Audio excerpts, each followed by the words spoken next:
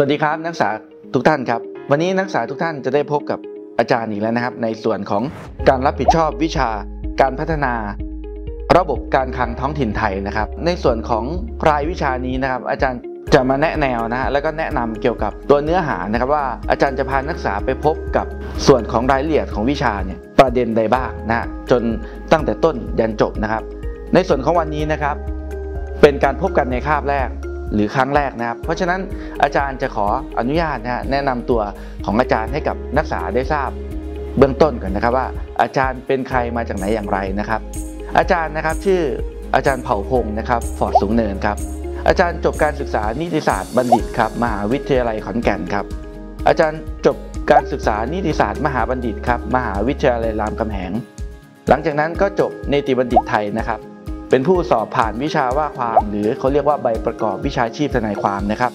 เป็นผู้ผ่านการอบรมที่ปรึกษากฎหมายนะฮะในคดีที่มีอำนาจในการพิจารณาคดีเยาวชน และก็ครอบครัวนะครับ และสุดท้ายอาจารย์จบประกาศนียบัตรเกี่ยวกับหลักสูตร กฎหมายปกครอง และก็วิธีพิจารณาคดีปกครองนะครับกสปรุ่นที่ 1 ครับ อันนี้ก็เป็นประวัติการศึกษาของอาจารย์นะครับอาจารย์ก็รู้สึกยินดีอย่างยิ่งนะครับ วันนี้ที่ได้มา รับผิดชอบนะแล้วก็สอนวิชา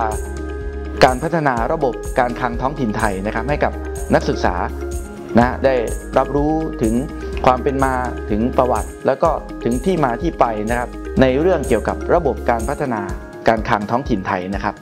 ในส่วนของวิชานี้นะครับนักศึกษาจุดมุ่งหมายนะฮะและวัตถุประสงค์นะครับ อาจารย์มีจุดมุ่งหมายของรายวิชาดังต่อไปนี้ครับ 1. อาจารย์อยากจะให้นักศึกษาครับได้ทราบถึง ความหมายของนโยบายการคลังนะฮะขององค์กรปกครองส่วนท้องถิ่น 2. อยากให้นักศึกษาได้ทราบถึงสิ่งแวดล้อมการดำเนินการทางนโยบายการคลังนะขององค์กรปกครองส่วนท้องถิ่น 3. ครับอยากให้ทราบถึงการวางแผนและก็การจัดองค์กรนะฮะปกครองส่วนท้องถิ่น รวมถึงข้อกฎหมายต่างๆ ที่เกี่ยวข้องกับองค์กรปกครองส่วนท้องถิ่นด้วยนะและข้อสุดท้ายครับข้อที่ 4 ครับ อยากให้ทราบถึงปัญหาทางด้านการคลังขององค์กรปกครองส่วนท้องถิ่น ว่าในองค์กรปกครองส่วนท้องถิ่นเนี่ยเขามีปัญหาอย่างไรบ้าง แน่นอนครับ พอเรารู้ปัญหาแล้วเราต้องแก้ปัญหาให้มันได้ด้วยนะครับ ซึ่งเราจะเจอกันในวิชานี้นี่แหละ ต่อมาครับวัตถุประสงค์นะของวิชานี้นะครับ ก็เป็นวัตถุประสงค์ที่สอดคล้องกับจุดมุ่งหมายที่อยากให้นักเรียนได้เรียนรู้นะฮะวัตถุประสงค์ของเราก็คือให้นักศึกษาได้ทราบนะแล้วก็แก้ไขแล้วก็นำไปใช้นำไปปฏิบัติได้นะครับ นี่ก็เป็นตัววัตถุประสงค์แล้วก็ตัวจุดมุ่งหมายนะครับ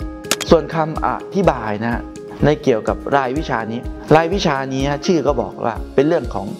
การพัฒนาระบบคลังท้องถิ่นไทยนะครับ เพราะฉะนั้นคำอธิบายรายวิชาเนี่ยจะเป็นอื่นไม่ได้เลย ก็จะต้องเป็นการพูดถึงองค์กรปกครองส่วนท้องถิ่น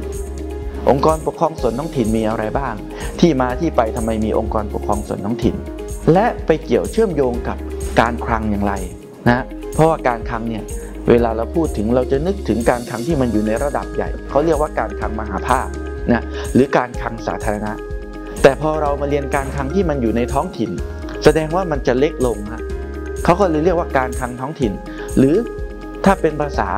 นักศึกษานะหรือภาษาอาจารย์ที่สอนกันอยู่เนี่ยเขาเรียกว่าการคลังเล็ก